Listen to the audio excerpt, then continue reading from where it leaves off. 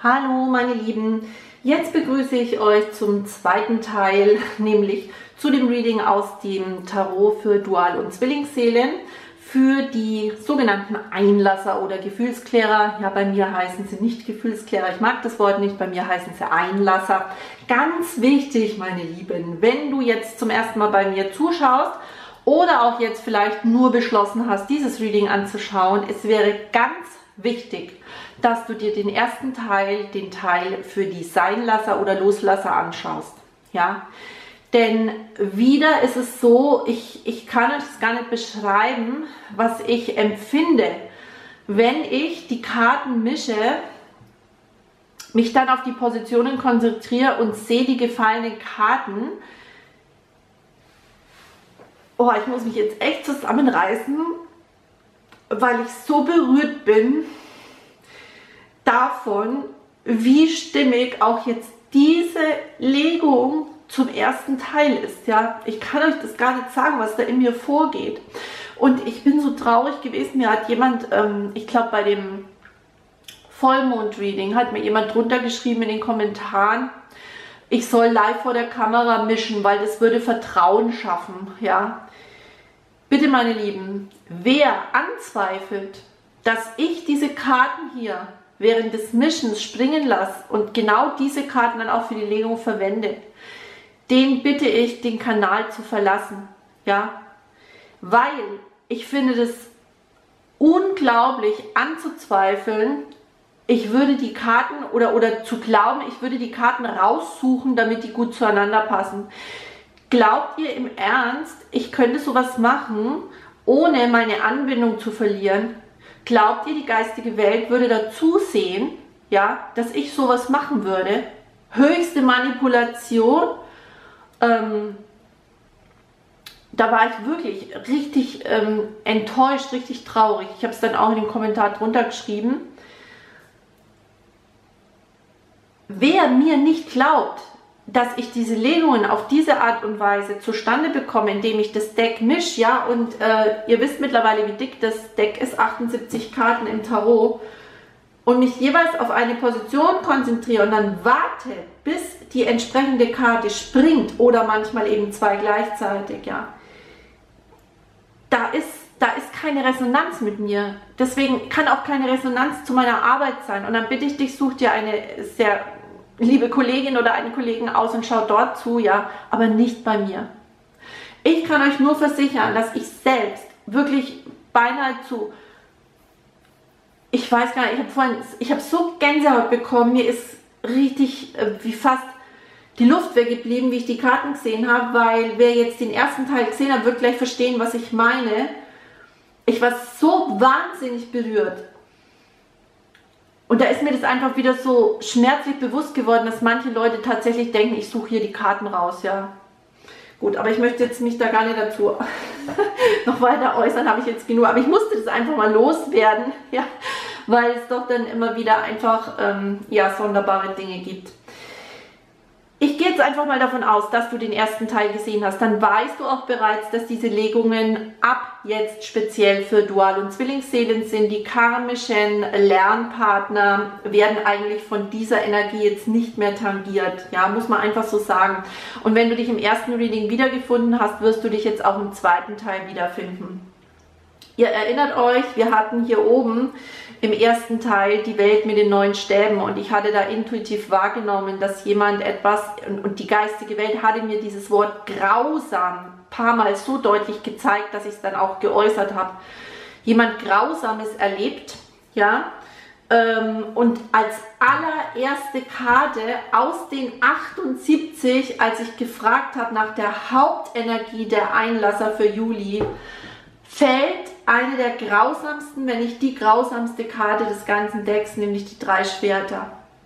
Und schon da, jetzt kriege ich wieder Gänsehaut, ja, also schon da hat mir wirklich, ist mir richtig die Luft weggeblieben.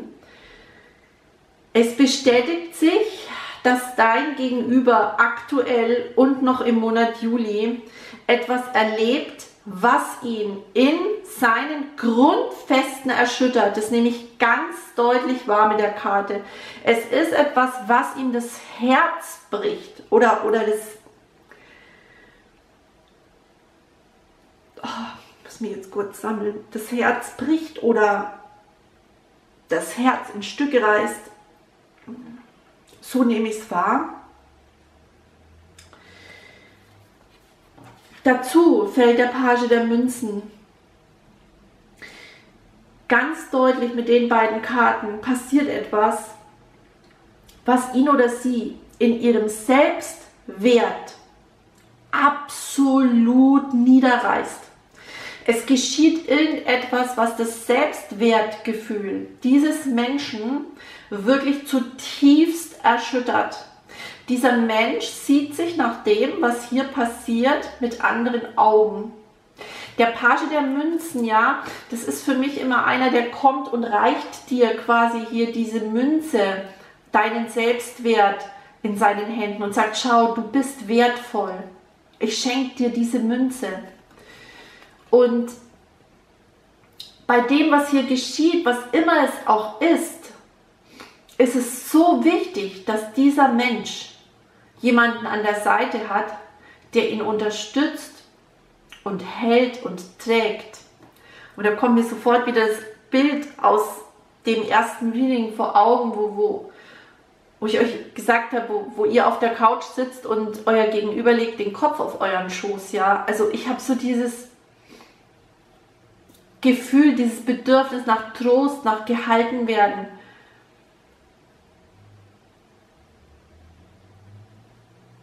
Also ganz schmerzliche Energie. Ihr wisst, meine Lieben, es sind allgemeine Readings. Ja, das kann, kann gar nicht jetzt auf jeden zutreffen, der jetzt schaut oder der auch für sein Gegenüber schaut. Ich sage euch nur, welche Energien für die Einlasser im Juli zur Verfügung stehen. Und nachdem sich jetzt im Seinlasser-Reading schon abgezeichnet hat und jetzt hier nochmal bestätigt wird, dürfen wir davon ausgehen, dass es vielen tatsächlich im Juli nicht gut gehen wird. Und die Karten sind ja unglaublich stimmig im Ganzen.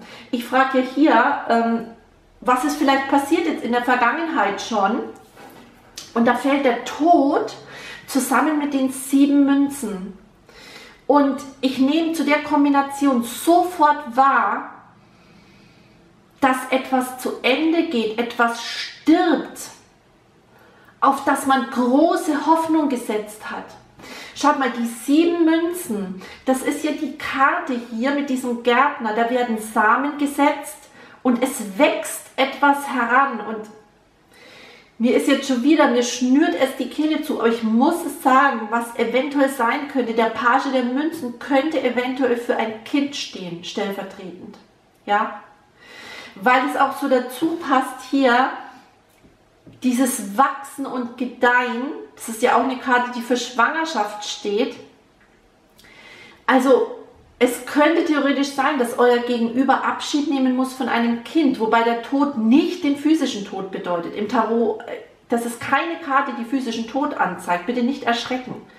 Sondern es könnte sein, dass hier vielleicht entweder ein Kind das Haus verlässt oder dass eine Trennung ähm, eingeleitet wird und einer von beiden nimmt das Kind mit oder irgendetwas in der Richtung. Oder dass man sich einfach von etwas verabschieden muss, auf das man so gehofft hat. Auch mit dem Selbstwert, wenn es sich jetzt nicht um ein Kind handelt. Das Kind kam mir nur und ich, ich sage euch immer alles genauso, wie es in meinen Sinn kommt. Ja? Wenn es sich nicht um ein Kind handelt, dann könnte es sein, dass dein Seelengefährte ja, an irgendetwas gearbeitet hat. Er hat vielleicht, ähm, das könnte alles Mögliche sein, ein Geschäft aufgebaut oder ähm, hat vielleicht viel Hoffnung auf eine bestimmte Freundschaft gesetzt oder irgendetwas. Diese Karte spricht von Hoffnung, dass etwas wächst. Und diese Hoffnung scheint zu sterben oder scheint zerstört worden zu sein oder wird erst noch zerstört im Juli. Und das wiederum wirkt sich katastrophal auf den eigenen Selbstwert aus. Der Tod steht immer für ein endgültiges Ende von etwas. Eine Hoffnung zerplatzt wie Seifenblasen. Und es verursacht unglaublichen Schmerz. Und wir kommen hier gleich noch zum Thema Verlust. Es geht hier darum, etwas zu verlieren. Kann sich auch um finanzielle oder materielle Sicherheit handeln. Will ich überhaupt nicht ausschließen hier mit den beiden Münzkarten. Aber etwas jedenfalls, was dein Gegenüber bis auf die Grundfeste seiner eigenen Überzeugung erschüttert. Und auch hier geht es ums Verlassen. Ich frage ja an der Position, was ist ihm oder ihr jetzt noch nicht bewusst, was weiß aber die Seele schon? Und schaut mal, wie bezeichnend. Da fällt zum einen der Vollmond, die beiden Readings sind ja heute am Vollmond gelegt worden, ja. Ich habe ja speziell auch gefragt, was beleuchtet der Vollmond jetzt, ja, diese Energie dieses Vollmondes im Steinbock. Und schaut mal, die Seele deines Gegenübers weiß bereits, dass es eine Situation zu verlassen gilt. Da ist etwas unwiderruflich vorbei. Und er oder sie muss gehen. Wie gesagt, es wird hier gleich nochmal bestätigt von der geistigen Welt. Eine Situation muss verlassen werden. Was aber jetzt ihm oder ihr in der Situation nicht bewusst ist, was aber die Seele schon weiß, dass wenn das alles hier überstanden ist, ja, ein wundervoller Neubeginn bevorsteht. Eine neue Zukunft. Eine Zukunft ohne Altlasten. Eine Zukunft, für die es Mut braucht. Auch diese Karte spricht von Mut, ja. Man braucht Mut, um sich hier aufzumachen und etwas zu verlassen, weil man weiß, es hat keinen Sinn mehr. Das kommt mir gerade so. Es, genau, das kommt jetzt ganz stark auch zu den beiden Karten.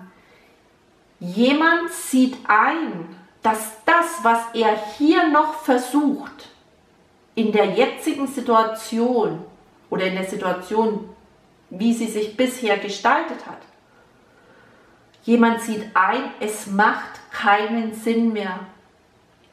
Es muss etwas endgültig zu Ende gehen, damit etwas Neues beginnen kann. Und die Seele deines Gegenübers weiß das schon ganz genau. Und gerade weil jetzt auch der Mond hier an die Position fällt, wird dieser Mond heute ganz viel Klarheit bringen. Ich kann mir vorstellen, dass jetzt gerade in diesem Moment bei deinem Gegenüber tatsächlich Klarheit kommt. Ich habe es vorhin im ersten Teil schon gesagt, dieser Vollmond im Steinbock, ja, der beleuchtet Situationen, die bislang im Nebel gelegen sind, Situationen, die unklar waren. Geheimnisse kommen ans Licht, Lügen werden aufgedeckt, was dann auch hilft, die Situation zu verlassen um bereit zu werden für einen Neubeginn, ja, für den aber wieder dieses Selbstwertgefühl nötig ist. Ja, nicht umsonst liegen hier die Karten untereinander. Denn was hier passiert, raubt ihm oder ihr ja erstmal das Selbstwertgefühl. Ja, da fühlt sich jemand klein, verlassen, wertlos möchte ich fast sagen, manipuliert und schlecht behandelt, vielleicht betrogen. Und da muss ich dieses Selbstwertgefühl überhaupt erst wieder aufbauen, zu sagen, ja, ich gehe weiter. Kommen wir gleich noch dazu. Und was ich jetzt schon, also fast, fast spooky fand, an der Position frage ich ja, ähm, wie er oder sie die Situation denn betrachtet in seinem Bewusstsein. Und da fielen die neun Münzen. Und die neun Münzen lagen ja im ersten Teil an der, an der Stelle deiner Hoffnungen und Wünsche zusammen mit den zehn Kelchen. Und da habe ich noch ähm, gesagt, dass ich wahrnehme, dass du das bist als glücklicher und erfüllter Single quasi. Du hast all deine Bereiche in deinem Leben in Ordnung gebracht. Du kannst mit dir selber ein erfülltes und zufriedenes Leben führen und weißt, dass dich diese Transformation ähm, bereit gemacht hat, auch für eine erfüllte Beziehung. Und hier sieht dich, das bist du, dein Gegenüber genau in diesem Licht, in dem du dich auch siehst. Er sieht dich als diesen erfüllten Menschen, der es geschafft hat quasi, der seinen Transformationsprozess so wundervoll bewältigt. Und er möchte an dir festhalten. Er möchte so sein wie du. Er wünscht sich, er wäre schon so weit. Das kommt mir ganz stark zu den beiden Karten. Er hält hier verkrampft seine vier Münzen fest, ja. Das ist so das bisschen Selbstwertgefühl, was er vielleicht momentan noch hat und schaut zu dir und du stehst hier umgeben von deinen neuen Münzen, ja. So stolz und so kraftvoll und so mutig. Und da kommt mir wieder ganz stark dieses Bild aus der ersten Legung, dass er zu dir hin möchte, diese Welt, die da lag an der oberen äh, Position, ja, dass er zu dir hin möchte in diese nährende, heilende Energie. Also ganz intensiv nehme ich das da wahr. Ja, er oder sie hält hier so das letzte Restchen an Selbstwertgefühl und Selbstvertrauen fest, das er noch hat und schaut zu dir und sieht, wie weit du schon gekommen bist und möchte sich von der Energie wie anstecken lassen fast. Also ich weiß nicht, wie es euch geht, aber ich finde es so heftig heute. Vielleicht hat es auch mit dem Vollmond zu tun, aber mir ist die ganze Zeit, ich habe wirklich Herzklopfen bis zum Hals und mir ist ganz fast wie übel, wenn ich diese Karten anschaue Bitte schreibt mir das unbedingt in die Kommentare, wie es euch beim Anschauen dieser Legung ging. Ob ihr das auch so intensiv wahrnehmt, ob das vielleicht tatsächlich heute mit diesem Vollmond zu tun hat. An der Position frage ich, was kommt im Außen auf dich zu? Und da habe ich sofort wahrgenommen, er oder sie könnte eventuell eine Reise machen. Zwei Stäbe mit der Welt, eine Reise. Oder jemand aus einer größeren Entfernung kommt zum anderen. Also es könnte theoretisch sein, dass euch räumlich eine große Distanz trennt oder dass ihr euch auch lange Zeit nicht gesehen habt oder vielleicht lange Zeit gar keinen Kontakt hattet. So nehme ich diese Karte hier wahr. Die Karte zeigt auch an, dass trotz all dieser Grausamkeit, die hier passiert, ja, er, und es zeigen ja auch letztendlich diese beiden Karten, er oder sie nicht ganz vergessen hat, dass da noch etwas Wundervolles in der Ferne ist, eigentlich die Wunscherfüllung schlechthin, was einen Neubeginn bedeuten könnte. Und vielleicht wird hier tatsächlich ein Treffen initiiert oder Kontakt wieder aufgenommen, denn ihr erinnert euch in der ersten Legung, fiel ja hier der Page der Kelche mit dem Eremit. Und es könnte sein, dass dein Gegenüber jetzt hier nach diesem ganzen Schmerz tatsächlich in diesen Eremitenmodus kommen muss, ja, um ähm, überhaupt in der Kraft zu sein, einen Schritt auf dich zuzugehen. Ich glaube, energetisch betrachtet ist er da schon. Ja, das sehen wir hier eigentlich an diesen beiden Karten. Das ist ja, was ihm bewusst ist. Ähm, es zeigt eigentlich sehr deutlich, wo er oder sie gerne wäre. Aber ich habe manchmal dieses Gefühl, das hatte ich auch ja schon hier oben bei den neuen Stäben mit der Welt im anderen Reading, dass es eventuell noch ein bisschen dauern könnte, bis er oder sie so weit ist, was auch wichtig ist, ja, hier in dieser Akutphase, sage ich mal, was immer da auch passiert, erstmal so ein bisschen zu sich zu kommen, in die Selbstreflexion zu gehen. Aber was wunderschön ist, ja, ich frage hier nach den Hoffnungen oder Ängsten und da fällt der Ritter der Kelche für die Hoffnung und der passt natürlich toll zum Pagen der Kelche in der ersten Legung.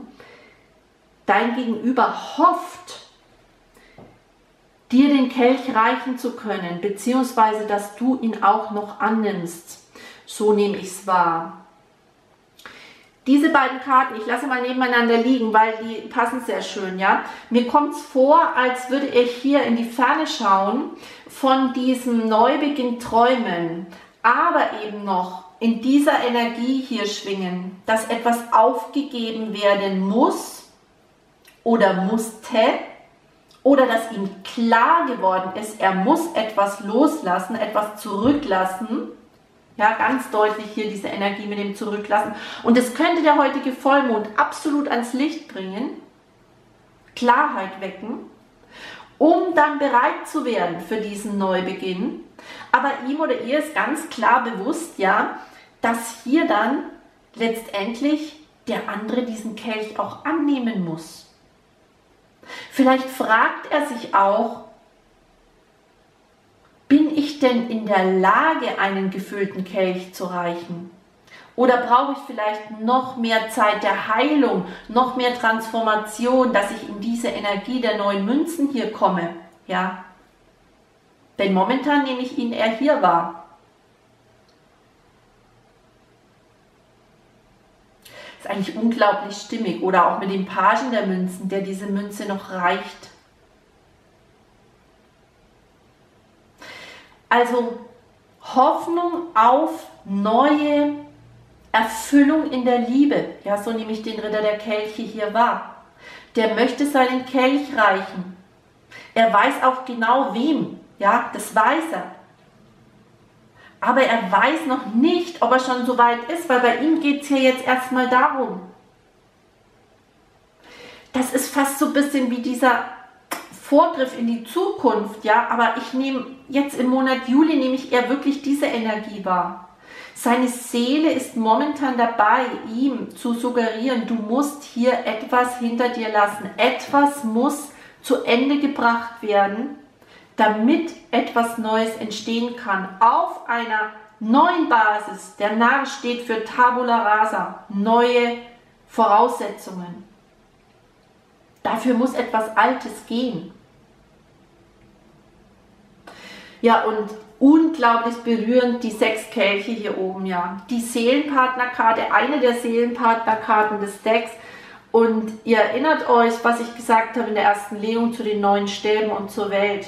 Da möchte jemand nach Hause kommen, weil er spürt, nur bei dir ist sein Zuhause. Und das drückt keine Karte des gesamten Decks besser und berührender aus wie diese Karte. Sie steht für diese vielen gemeinsamen Leben, ja, die diese Seelen schon verbracht haben. Sie steht für diese Rückkehr zum Seelenpartner, für dieses Zurückkehren eines geliebten Menschen aus der Vergangenheit, für die Wiedervereinigung zweier Seelen. Es gibt keine Karte, und das meine ich wirklich so. Ihr wisst, ich kenne jede einzelne Karte. Ich spüre die Energie von jeder einzelnen Karte. Ich sage es euch wirklich und deswegen war ich vorhin auch so unglaublich ergriffen.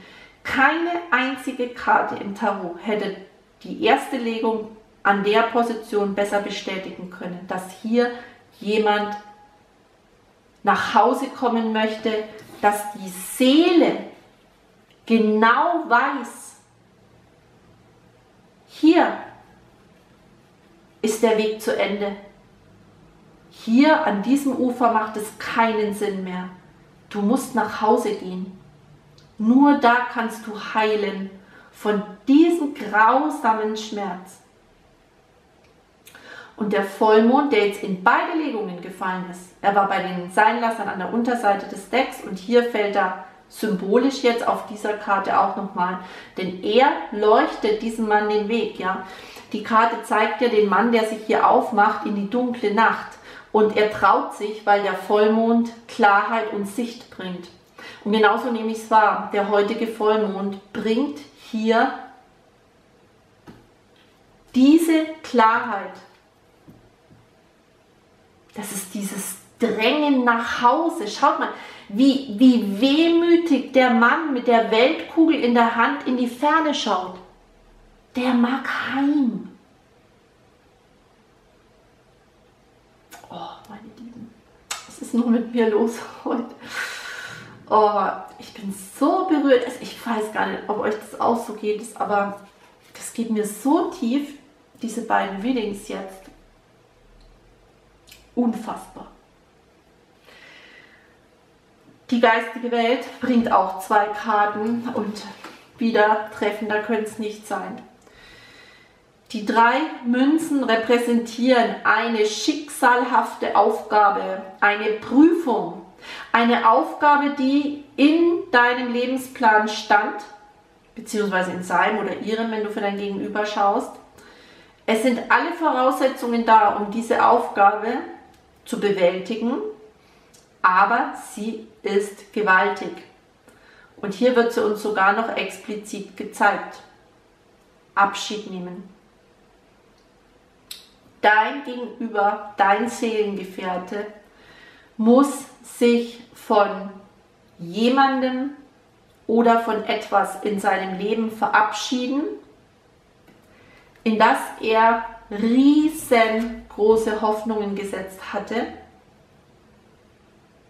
das er hegen und pflegen wollte.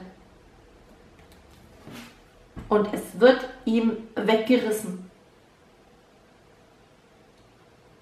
Deswegen muss er gehen oder sie. Und was die geistige Welt mit dieser Karte noch ausdrückt, ist das Seelenpaar hier hinten. Das ist fast wie eine zerbrochene Beziehung, ja. Wird jetzt auch wieder mit dem Kind passen. Drei umgestürzte Kelche, wie eine zerbrochene Beziehung mit Kind vielleicht, die verlassen wird. Alles göttlich geführt, alles so vorgesehen damit die Seelenpaare zueinander finden. Und da sind wir wieder bei dem Thema, dass Beziehungen, die nicht auf wahrer Herzensliebe basieren, auseinanderbrechen. Speziell in diesem Jahr 2018. Hat letztes Jahr schon begonnen, aber jetzt in diesem Jahr 2018 nimmt es nochmal vehement zu. Und die geistige Welt möchte ihn ermutigen, sich umzudrehen und zu schauen, dass hier noch etwas Wundervolles auf ihn wartet. Letztlich ein Ort, an dem er seine Wunden heilen kann. Ja. Also, unglaublich. Es könnte alles ziemlich schnell gehen. Die acht Stäbe an der Unterseite des Decks als Gesamtenergie ja, ihr seht, als Hauptenergie hier in der Mitte die drei Schwerter mit den Pagen der Münzen und die acht Stäbe. Vielleicht ist es tatsächlich so, dass sich dein Gegenüber auf den Weg zu dir macht, dass alles ähm, damit überhaupt in Gang kommt zwischen euch wieder, auch wenn vielleicht jetzt lang kein Kontakt steht. Die acht Stäbe stehen auch symbolisch für Nachrichten, die dich erreichen könnten. Aber auf jeden Fall symbolisieren sie Bewegung. Es passiert etwas im Juli. Irgendetwas verändert sich, irgendetwas passiert. Ihr wisst, wir haben in den letzten Monaten auch oft schon so stagnative Energie gehabt. Ja, das ist oft so der Gehängte und da passiert irgendwie nichts, ja. Aber nein, im Juli passiert was.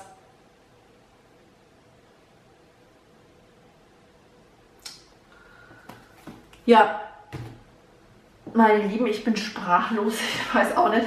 Bitte schreibt mir unbedingt unter das Video in den Kommentaren, wie es euch ging, ob euch das auch so sehr berührt hat jetzt äh, beim Anschauen. Ich bedanke mich natürlich, dass ihr zugeschaut habt. Ja, ich bin gespannt auf eure Kommentare. Ich habe das alles im, einen, im, im ersten äh, Video schon erklärt. Ich möchte jetzt nicht alles nochmal sagen. Bitte nicht so viele persönliche Nachrichten schreiben, am besten nur kommentieren. Das wäre mir sehr lieb, weil ich sonst äh, immer so ganz viel, ich bekomme immer am Tag so 80 Nachrichten, ich kann die nicht beantworten. Und mir tut es dann so leid, wenn ihr mir schreibt und ihr kriegt keine Antwort, aber ich würde da einen halben Tag sitzen, das äh, geht nicht. Und persönliche Readings bitte erst wieder im August anfragen ich bin momentan komplett ausgebucht. Meine Warteliste ist randvoll.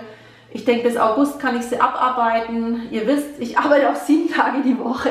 Ich mache ja auch nie Urlaub. Ja, wer mich kennt, weiß das. Doch letztes Jahr habe ich zwei Tage, oder auch nur einen Tag, glaube ich, habe ich noch Urlaub gemacht. Aber bitte seht das nach, dass ich momentan einfach nichts mehr annehmen kann, auch nicht auf die Warteliste, sonst wird dieser Druck immer größer. Und ich möchte einfach energetisch für euch, äh, für diese allgemeinen Readings topfit sein.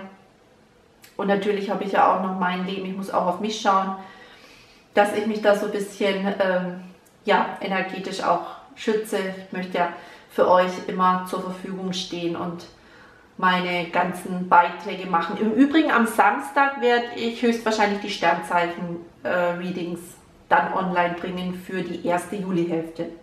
Ja, ich bedanke mich für euer Zuschauen, für eure Likes natürlich. Bedanke ich mich, wenn ihr meinen Kanal abonniert, wenn ihr mich auf Facebook besucht und ganz besonders über jeden einzelnen Euro an Spende, der bei mir eingeht, über PayPal. Ich verlinke euch die ähm, E-Mail-Adresse, die ihr braucht für PayPal in der Infobox. Ansonsten ähm, bekommt ihr natürlich auch meine IBAN, wenn jemand nicht bei PayPal ist, weil diese Unterstützung für meinen YouTube-Kanal und für die kostenlose Arbeit, die ähm, ja, weiß ich unglaublich zu schätzen und bedanke mich da wirklich von ganzem, ganzem, ganzem Herzen. Ja, dann äh, wünsche ich euch jetzt einen schönen Juli. Ich bin gespannt. Schreibt auch gern Ende Juli nochmal in die Kommentare, ob sich etwas ähm, von dem Reading bestätigt hat. Das ist auch immer sehr interessant. Und viele von euch höre ich ja dann, denke ich, beziehungsweise hören mich dann am Samstag für die Sternzeichen-Readings. Ja, dann wünsche ich euch noch einen schönen Abend und bis bald. Ich drücke euch, eure Uli.